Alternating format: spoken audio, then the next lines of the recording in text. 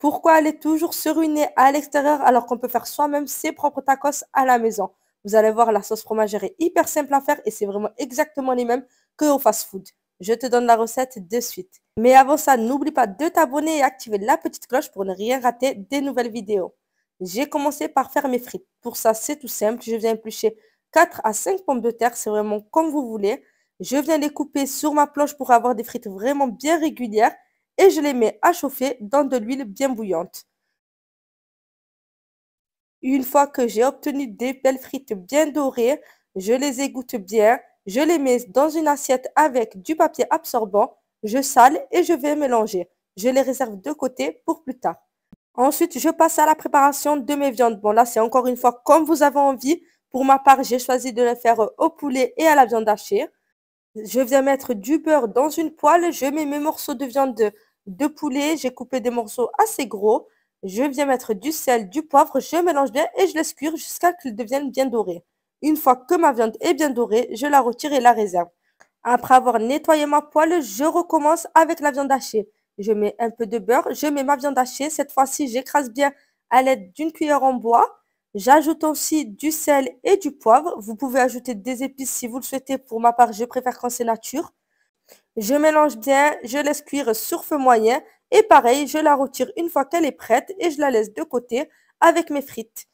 Et enfin, pour finir, on s'attaque au plus important de la recette, la crème fromagère. Alors pour ça, c'est tout simple. Je mets 250 ml de crème liquide dans une casserole avec une cuillère à soupe de crème fraîche.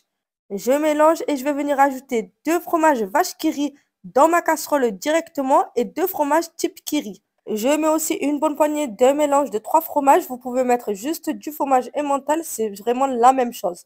Je mets un tout petit peu de sel et du poivre. Je mets vraiment légèrement du sel car c'est vraiment assez salé avec le fromage.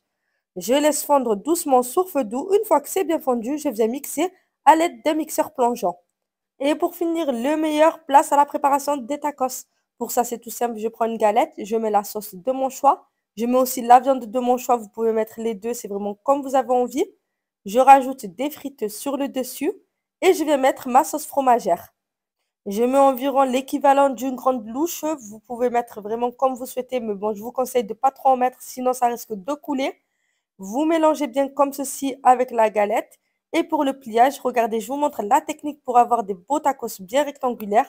Vous fermez en portefeuille comme ceci et vous faites entrer le haut de la galette à l'aide des bouts des doigts à l'intérieur pour vraiment avoir un beau rectangle.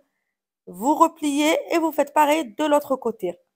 N'oubliez pas que je vous mets la liste de tous les ingrédients comme d'habitude en bas dans la description et n'hésitez pas à me demander en commentaire si vous avez des questions. Je refais la même chose pour les autres tacos. Cette fois-ci, je fais avec de la viande hachée de la sauce algérienne. Il sera un peu plus gros, c'est celui de mon mari. Pour mon petit-fils, je fais un peu petit. Et voilà, j'obtiens environ l'équivalent de 4 tacos avec les quantités que je vous ai mises. Pour la cuisson, j'utilise une machine à panini, mais ne vous inquiétez pas, si vous n'en avez pas, vous pouvez très bien les mettre soit dans un four, soit le faire à la poêle. Il n'y a vraiment aucun souci.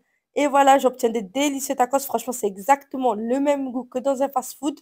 Je ne comprends pas qu'il y ait encore des gens qui vont se ruiner à l'extérieur alors qu'on peut faire exactement les mêmes à la maison avec de la viande fraîche et des frites maison.